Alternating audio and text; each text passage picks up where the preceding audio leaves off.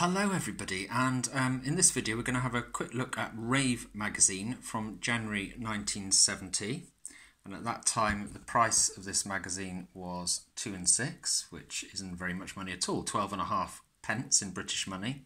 And it's got the Marianne Faithfull cover as you can see but down here is, is a list of the contents, and David Bowie's philosophy is inside here, so that's quite interesting. This is a magazine rather than a comic. Um, all sorts of things, bit of sport. George Best, of course, he featured in everything around about this time. Ian Anderson there from Jethro Tull. A big feature on Marianne Faithfull, who was at that time absolutely massive. Of course, she had a lot of Bowie connections as well.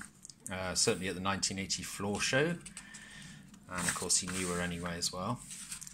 So moving on through it, and I'll show you the Bowie pieces. There are some excellent, uh, two excellent images in here of David Bowie, which I'm going to show you as soon as I get there. And as you can see, it's more of a magazine rather than a comic. I've got a bit of a loose page there, unfortunately.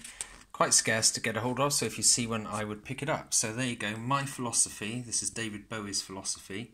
I'm not a well adjusted person. I've spent too long philosophizing. Ooh, that's difficult to say. Sometimes I feel I was never a teenager, just an old man. I've already had most of the experiences that I'm likely to go through in the next 40 years, which actually wasn't true, of course, because after this, bearing in mind this is 1970, he went through goodness knows what, right up to the time of his death. Um, but an amazing image of Bowie there. I love the way they got the smoke rising here from his cigarette.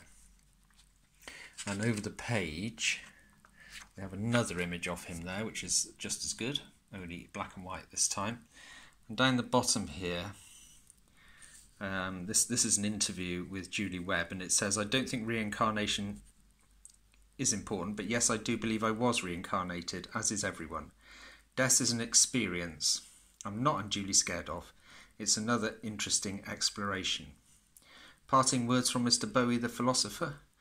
I've done too much thinking, got old before my time, but I get on very well with 80 year olds. You can see he still has a sense of humour at that point, even so young. So there you go. Um, that's it. And uh, Steve McQueen was in here as well. It's quite a thick magazine, this one. And like I said, quite rare.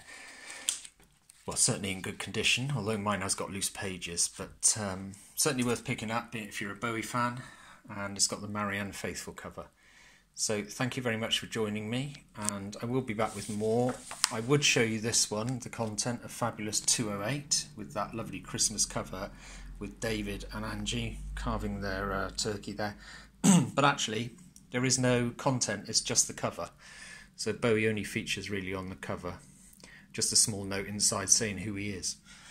So there you go. I just thought I'd show you that and got out at the same time. That was only a shilling, which was five pence in British money. Thanks for joining me, folks, and I hope you like these videos. If you do, then subscribe and give me the thumbs up below.